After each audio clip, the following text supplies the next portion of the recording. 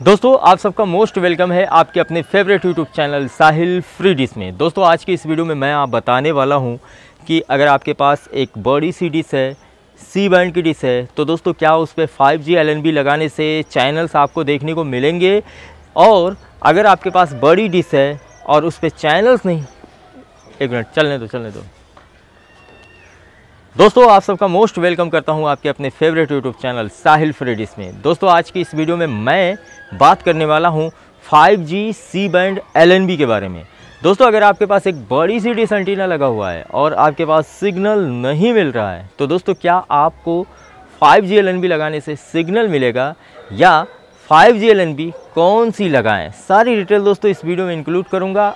तो दोस्तों, आप इस वीडियो को लाइक और चैनल को सब्सक्राइब ज़रूर कीजिएगा। एक प्यारा सा कमेंट ज़रूर कीजिएगा कि आपके पास कितनी डिशे हैं, कितने डिश एंटीना आप अभी इस समय इस्तेमाल करते थे और पहले कितने करते थे और कौन कौन से चैनल्स देख देख रहे हैं। तो थोड़ा सा टाइम निकाल के हमारी बातों को सुनते सुनते आप कमेंट भी ज़रूर कर दीजिएगा।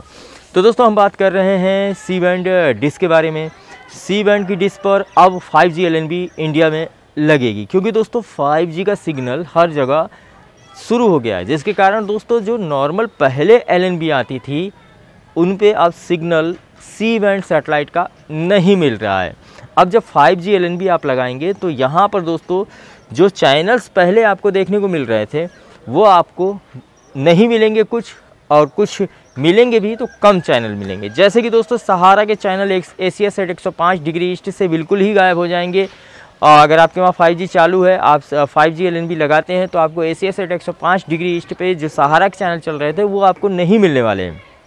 तो दोस्तों, अगर आपके पास नो सिग्नल हो गया है तो आप बस इतना समझ जाए एंटीना घुमाने से कोई फ़ायदा नहीं, आपके वहाँ 5G चालू हो चुका है। 5G के लिए दोस्तों, ये ये एल एन के आगे मैंने एक दूसरे एलएनबी का क्लैंप लगाया है, क्योंकि मुझे छोटी डिस एंटीने पर इसे देखना था। ट्राई करना था तो छोटे डिस एंटीने पर भी ये काम कर रहा है। फाइव जी एल कुछ इस प्रकार से होती है। ये वाला हिस्सा काफ़ी बड़ा होता है और ये वाला हिस्सा इधर को साइड में होता है। एलएनबी तो चाहे जैसे भी हो, लेकिन अंदर उसके प्लेट का ही पूरा कमाल होता है। दोस्तों, ये कुछ इस प्रकार से आपको लोकल मार्केट में भी मिल जाएगी और अगर आप ऑनलाइन शॉपिंग करने के शौकीन हैं तो आपको ऑनलाइन भी ये एल मिल जाएगी। तो पूरी डिटेल बताऊँगा ऑनलाइन कहाँ से सस्ता मिलेगा और किस तरह हम दुकान से ख़रीदें। तो ये मैं आपको आगे बताऊँगा प्राइस क्या होने वाला है। दोस्तों, ध्यान रखिएगा फाइव जी एल लेने का मतलब इस समय मेरी समझ से बेवकूफ़ी का सौदा होगा। इसलिए दोस्तों, क्योंकि दोस्तों हम दो से ढाई हज़ार रुपये इस LNB में लगाएँगे। इस LNB की कीमत ही सिर्फ़ दो से ढाई हज़ार रुपये आपको देना पड़ेगा। उसके बाद आप एंटीना एंटीना अगर आपने ख़रीदा नहीं है या ख़रीदने लगा रखा है तो एंटीने को तो छोड़ दो, लेकिन सिर्फ़ एल में ढाई हज़ार रुपये जाने वाले हैं। अगर आप बहुत ज़्यादा ही शौकीन आदमी हो तो ख़रीद सकते हो। लिंक डिस्क्रिप्सन में है। इसकी कीमत पंद्रह सौ रुपये से लेके दो हज़ार रुपये के बीच में आने वाली है। जो इंडिया में एल मिल रही हैं, उनकी बात कर रहा हूँ।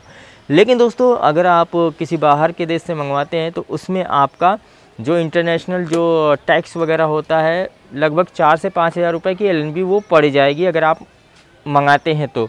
और अगर कोई अगर आपको लोकल एलएनबी देता है चार से पाँच सौ रुपये में तो वो एलएनबी आप मत लीजिएगा। वो एलएनबी आपकी किसी भी यूज़ की नहीं है, वो एलएनबी बिल्कुल ही काम नहीं करने वाली है। तो दोस्तों, अभी जो सी बैंड की स्थिति है, अगर आप सी बैंड की किसी भी सेटेलाइट किसी भी सेटेलाइट को ट्रैक करना चाहते हैं तो दोस्तों अब बहुत ही महँगा हो गया है और चैनल भी बहुत कम आ रहे हैं। पहले जितना सिग्नल मिलता था, अब उतना नहीं मिल रहा है। मैंने इस एल को मंगाया है, पास में ही टावर है, लगभग दोस्तों 200 मीटर पे टावर है 5G का, जिसके कारण हमें सिग्नल मिलते तो हैं, लेकिन दोस्तों मुझे पूरे चैनल नहीं मिलते हैं। जब तक पूरे चैनल ना मिले तो मज़ा नहीं आएगा दोस्तों। और याद रखिएगा a AsiaSat 105 degree east पर इस एलएनबी को लगाएँगे। आपको मुश्किल से मुश्किल 25 से 30 ही चैनल मिलेंगे। और 25-30 भी मिल गए तो बहुत ज़्यादा मिल गए। पहले आते थे तीन तीन सौ चैनल हमें देखने को मिलते थे, लेकिन दोस्तों अभी चैनलों की संख्या कम हो गई। हाँ पाक सेट पर आपको चैनल लगभग सौ के अंदर ही मिलेंगे, अस्सी पचासी चैनल मिल जाएँगे। तो कुल मिला जुला के दोस्तों अगर आपके पास कोई पुरानी डिश है, जिसमें सी वेंट की पुरानी वाली एलएनबी लगी थी तो दोस्तों अब ये मत समझें कबाड़ में आप उसे भंगार में बेच दो। बिल्कुल मत बेचिएगा दोस्तों, अपनी एलएनबी भी रखे रहो। हो सकता है आने वाले टाइम में कोई नया जुगाड़ आ जाए, जिससे आपकी पुरानी एलएनबी ही बन जाए। और आपकी जो डिसंटीना है ना, उस डिसंटीने पर आप के यू बैंड का एलएनबी लगा के और भी बहुत सारी सेटेलाइटें हैं, उनका इस्तेमाल कर सकते हैं, देख सकते हैं। तो दोस्तों ये छोटी सी अपडेट थी। आपके मन में कोई सवाल हो, आप हमसे करें।